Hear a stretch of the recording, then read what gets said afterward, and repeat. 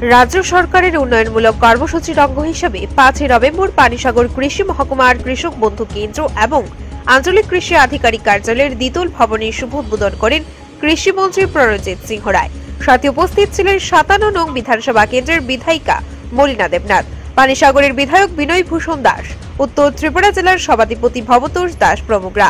উত্তর ত্রিপুরা জেলা সফরে এসে মন্ত্রী প্রণজিৎ সিংহ রায় পানিসাগরের ইকো পার্ক পরিদর্শন করেন। এবং কৃষকদের সুবিধার্থে পুরাতন যুবরাজনগর আরডি ব্লকে আগামী দিনে যুবরাজনগরকে কৃষি মহকুমা করা হবে। এই কাজে অগ্রগতি খতিয়ে দেখেন এবং সাতান্ন নং বিধানসভার অন্তর্গত হাফলং পুরাতন আরডি ব্লকের দালান বাড়ি পরিদর্শন করেন।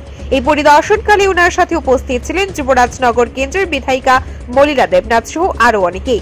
এদিন মন্ত্রী প্রণজিৎ সিংহ রায় প্রা- পানিসাগর কৃষি বিজ্ঞান কেন্দ্রে অনুষ্ঠানে বক্তব্য রাখতে গিয়ে মন্ত্রী বলেন নতুন সরকার আসার পর রাজ্যে কৃষকদের উন্নয়ন এবং তাদের স্বাবলম্ব করে তুলতে একাধিক প্রকল্প গ্রহণ করা হয়েছে।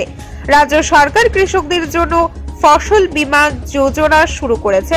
তাতে রাজ্যে প্রচুর কৃষক উপকৃত হয়েছে। সরকার ধান কিনে নিচ্ছে, কৃষকদের কাছ থেকে তার ধান ক্রয়ের মূল্য বৃদ্ধিও করছে সরকার। এখন আর কৃষকদের জায়গা পরিবর্তিতে ঋণ নিতে হয় না। পুরাতন সরকারের জামানায় যাদের কোনো কৃষি জমি নেই তারা সর্বসুযোগ সুবিধা পেত। এখন নতুন সরকারের আমলে যারা প্রকৃত কৃষক, তারাই সরকারি সুযোগ সুবিধা পাচ্ছেন বলে জানান মন্ত্রী।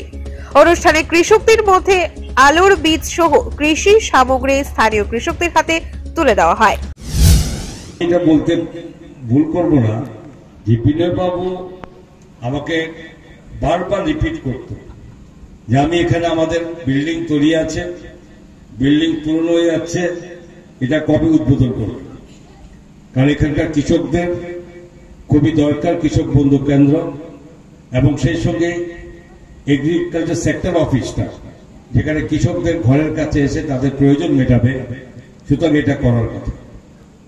তো এটা স্বাভাবিকভাবে কিছুটা সময় নিয়েছে, কারণ সারা রাজ্যব্যাপী যেখানে কোথাও আমাদের এত কিছু কাজ হয়েছে এগ্রিকালচার দপ্তরে সাড়ে চার বছরে, আমার সংখ্যাটা এখানে ডাইরেক্টর সাহেব ভালো বলতে পারতেন আমার মনে হয় দুইশোর কম বেশি বিল্ডিং হয়েছে, ছোট বড় মিলিয়ে মার্কেট থেকে শুরু করে বিভিন্ন এখানে কৃষক বন্ধু কেন্দ্র, যেটা উনত্রিশতম কৃষক বন্ধু কেন্দ্র, আমরা এটা আজকে ওপেনিং করেছি।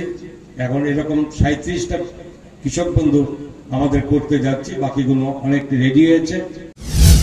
আমি তো বলব, যেখানে মাননীয় বিধায়ক বিনয়বাবু, বিধায়িকা মহিলা দেবনাথ, একটাই অভিযোগ যে নর্থ ত্রিপুরাতে কোনো ট্যুরিজমের কিছু নেই। তা আমারও ধারণা ছিল মতো নেই।